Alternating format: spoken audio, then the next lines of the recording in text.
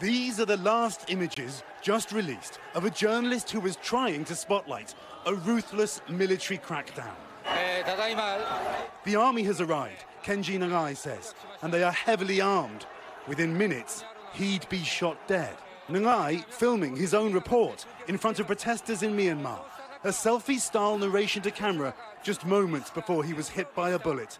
This now famous picture shows how he fell right where he was filming, still holding his camera despite the fatal wound. Standing over him, a soldier with a gun.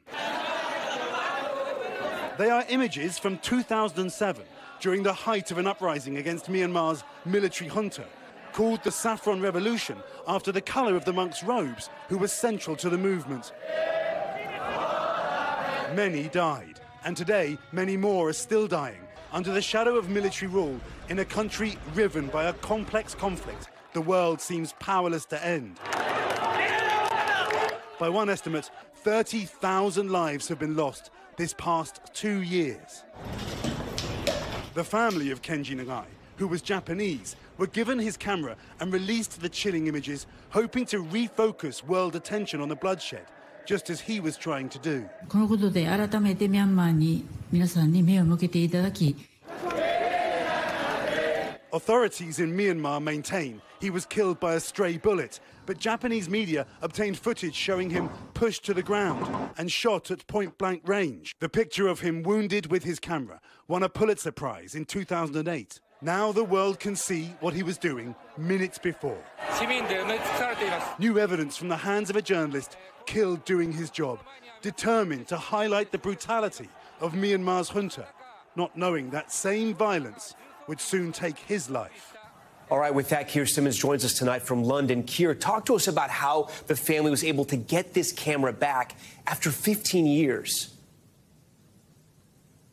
Tom, it's extraordinary, isn't it? 15 years it took uh, to get uh, this uh, camera. A group called the Democratic Voice of Burma, which is another name for uh, Myanmar, says it was involved in the exchange, won't say how it happened, but says that a good citizen was involved. Doesn't want to put that person at risk. And I can imagine uh, that the family think it certainly was a good citizen. Yeah, totally unbelievable. And as you mentioned in the story, the unrest yeah. there in Myanmar, it sort of has resurfaced quite again.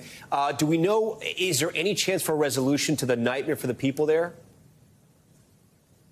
Oh, it's a nightmare, Tom. It really is. I mean, it's a crisis. It's, it's, it's a disaster. The UN talking about 18 million people needing urgent help. Hundreds of thousands have fled the country, and it just gets worse and worse. There are now different militia in the country. It really is an incredibly uh, complex picture. Now, Myanmar is a strategically important country, but the US seems reluctant to get involved because it's right on China's border. It doesn't want to get into a kind of proxy war there. China uh, worries about getting involved in a quagmire in Myanmar, so the disaster just continues, Tom, while the world just doesn't seem to be paying attention.